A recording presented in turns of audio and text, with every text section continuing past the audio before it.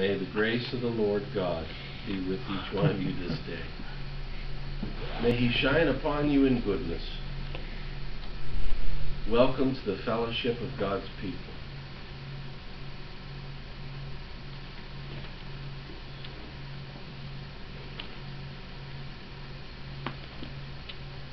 Friends, why do we come together? Why do we carve out some time in our week and get together and do the things that we're doing? Well, it's God's will that all believers would unite themselves into a community of like minded believers. And some of the things that we strive for in a church fellowship is we strive to have a commitment to the inerrancy and the sufficiency of the Bible. For an appreciation of biblical truth and a passion to preach it and teach it. We strive to be faithful to Orthodox Trinitarian Christianity, especially the kind that is found in the classic confessions of faith that arise from the Reformation. We strive to be a society that has a high view of God and a recognition of humankind's sinfulness and need of a Savior. We strive to have a conviction that Christ and His gospel are central and preeminent in the Christian faith.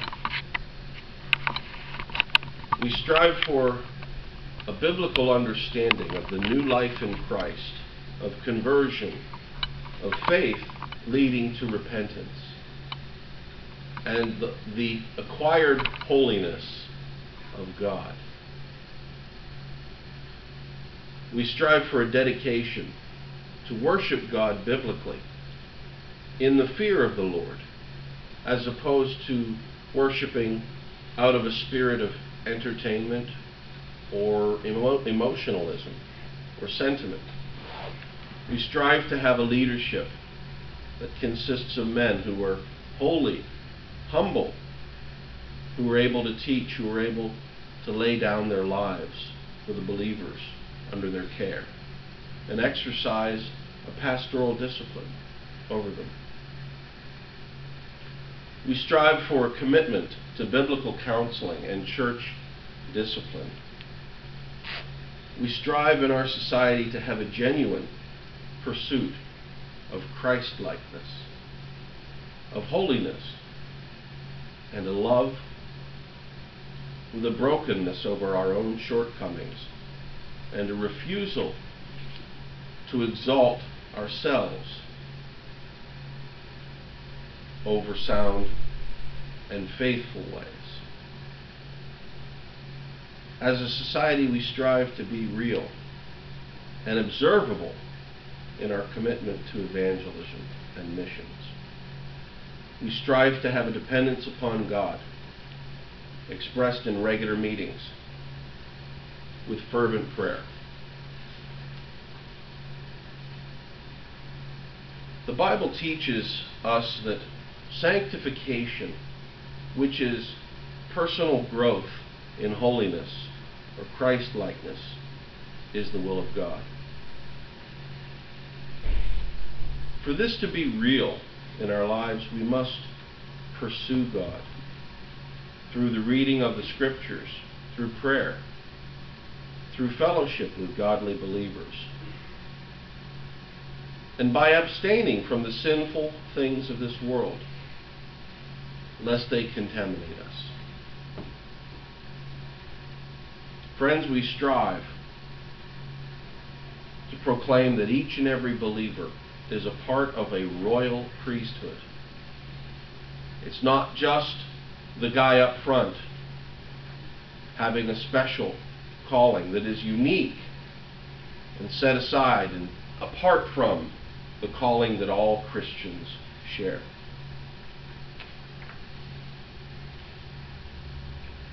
That we should build each other up in the good things of God.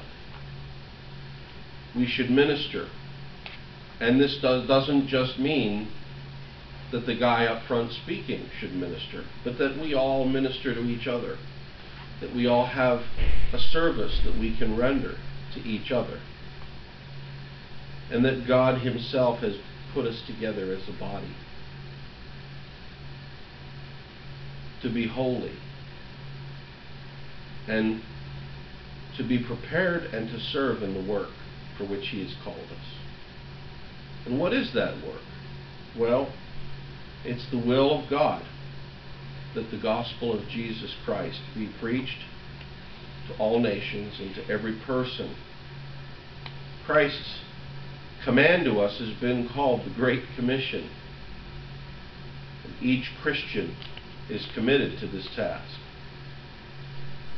This includes caring for believers who are persecuted from their faith, helping those in need, and doing works of charity for those who do not believe. Friends, what a high calling this is. What a good thing God's fellowship is. Let's take a moment and go before God in prayer and open our worship together.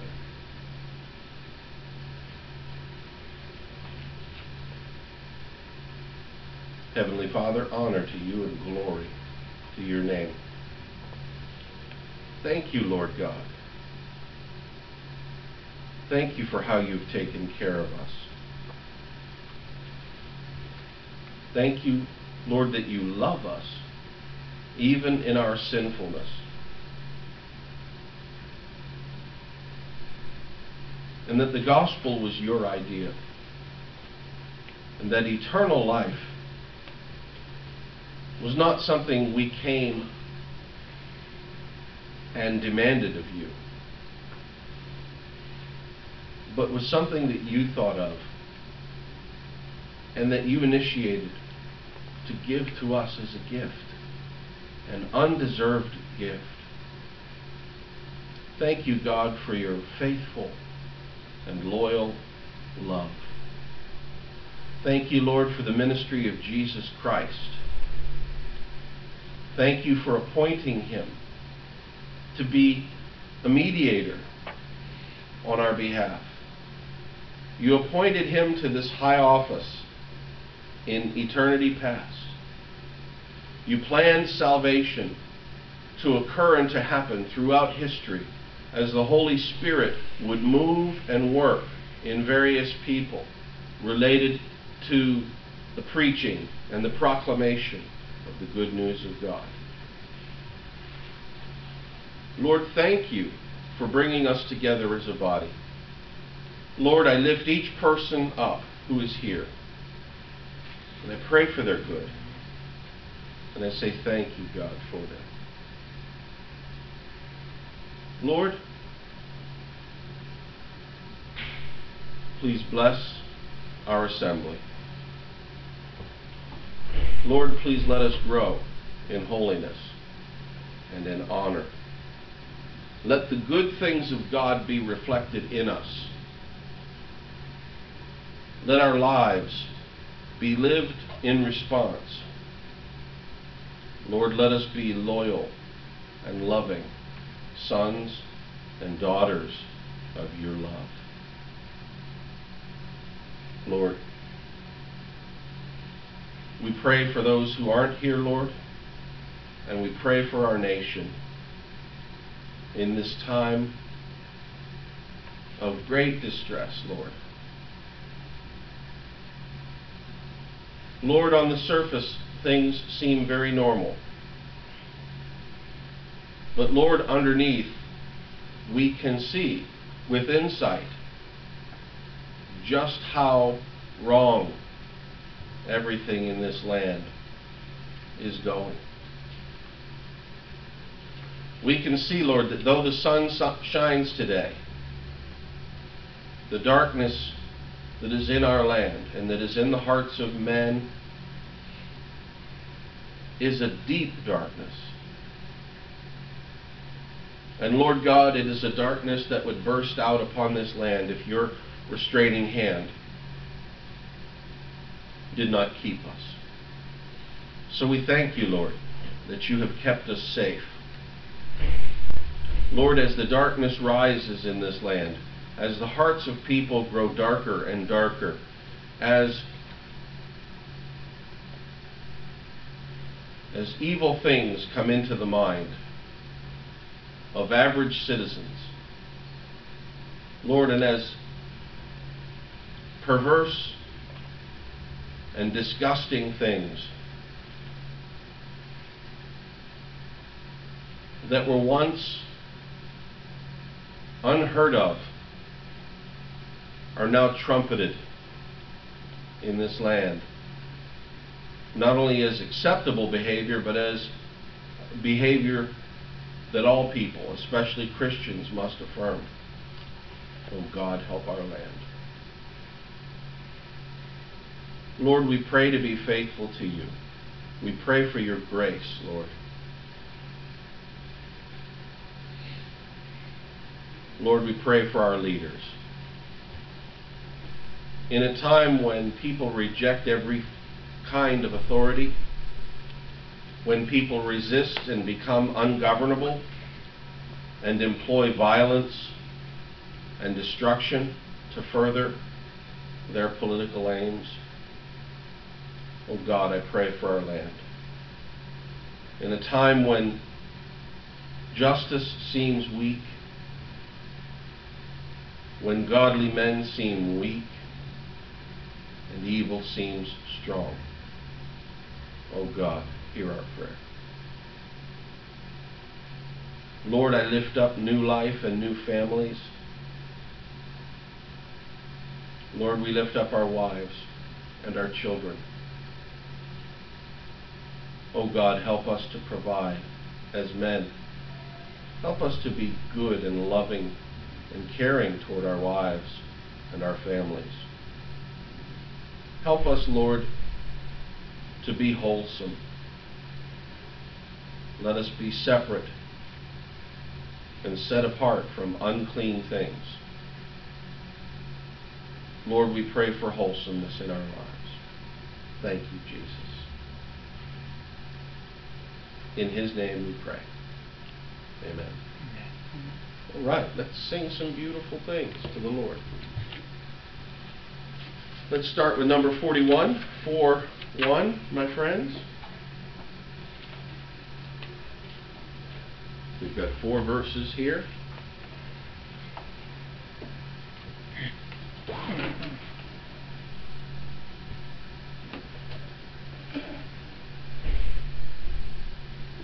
Forty-one.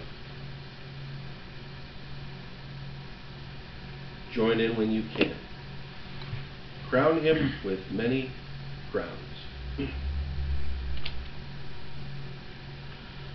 Crown him with many crowns, the Lamb upon his throne. Hark as the heavenly anthem drowns all music but its own.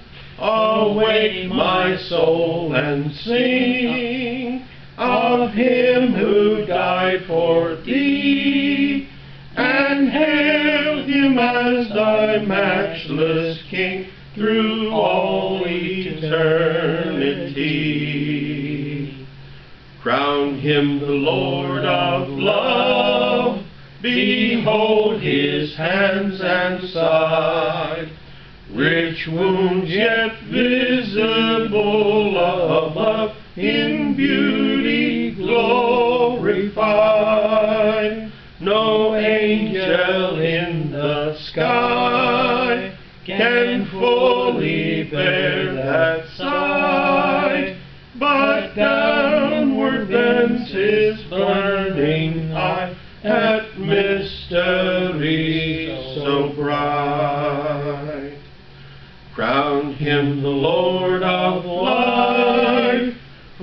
who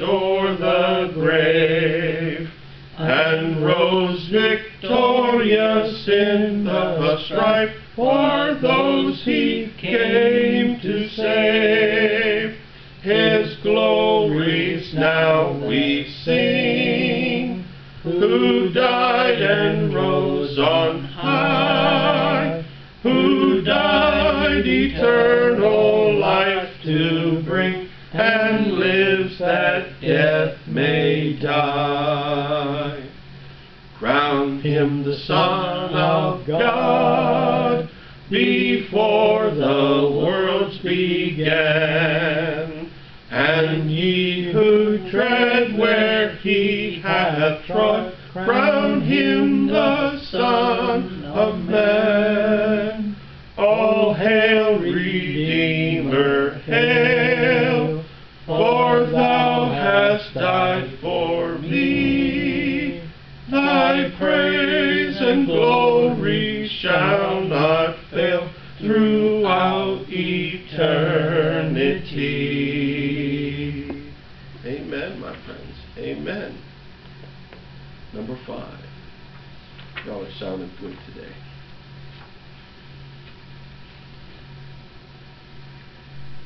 You know, you don't have to sing in church. It's not a requirement.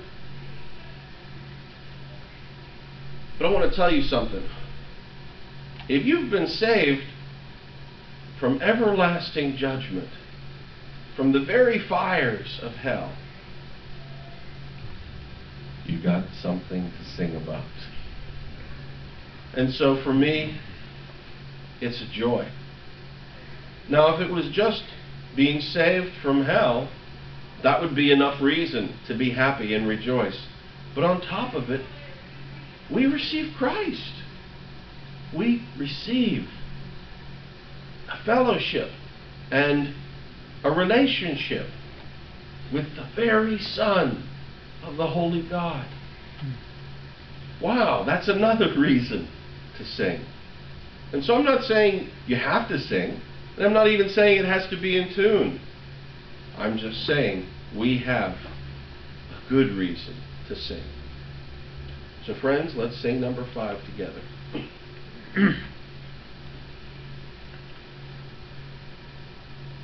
Come, we that love the Lord, and let our joys be known. Join in a song with sweet accord, and thus around the throne. Let those refuse to sing who never knew our God, but children of the heavenly King may speak their joys abroad. The hill of Zion a thousand sacred sweets. Before we reach the heavenly fields or walk the golden streets, then let our songs abound and every tear be dry. We're marching through Emmanuel's ground to fairer worlds on high. Amen. Y'all are sounding great today. 150. Blessed assurance. 150.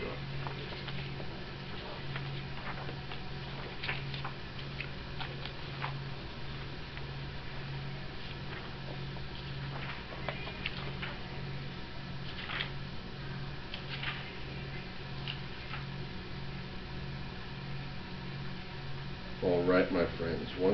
150. Two verses. Join in with me. Blessed assurance, Jesus is mine.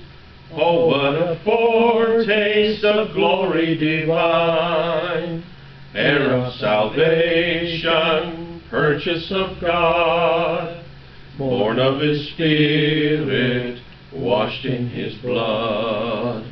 This is my story, this is my song praising my Savior all the day long.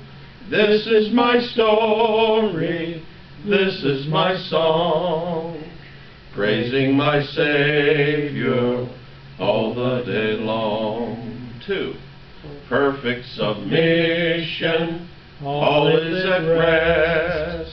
I in my Savior am happy and blessed, watching and waiting, looking above, filled with His goodness, lost in His love.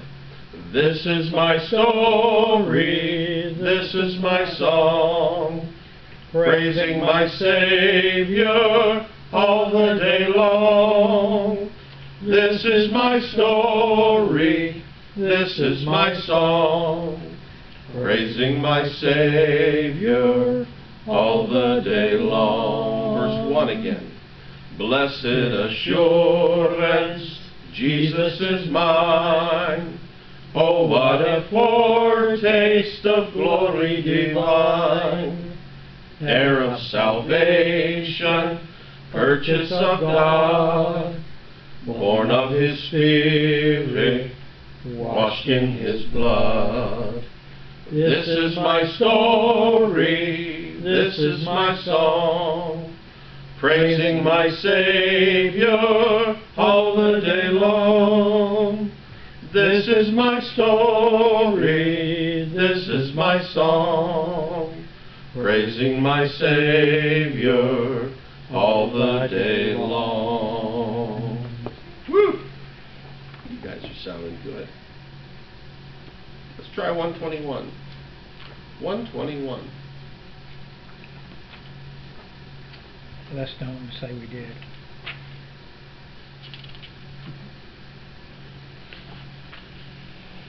One twenty-one, my friends.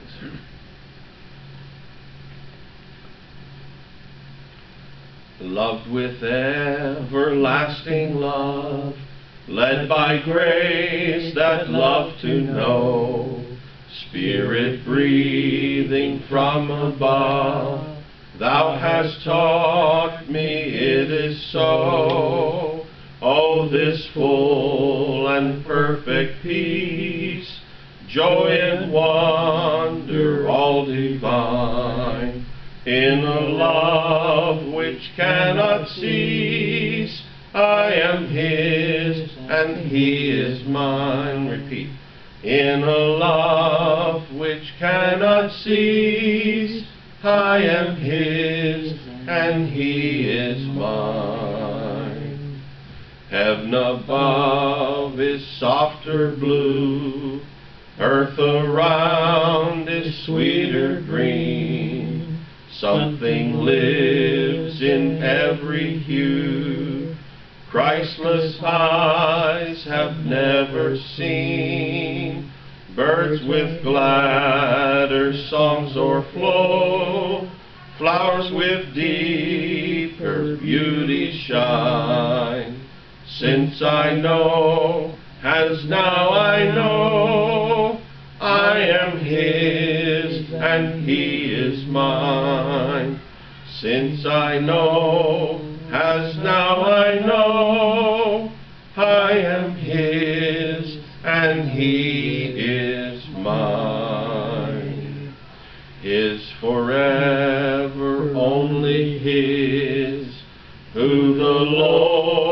and me shall part. Ah, with what a rest of bliss Christ can fill the loving heart. Heaven and earth may fade and flee, firstborn light in gloom decline. But while God and I shall be, I am His and He is mine. But while God and I shall be, I am His and He is mine.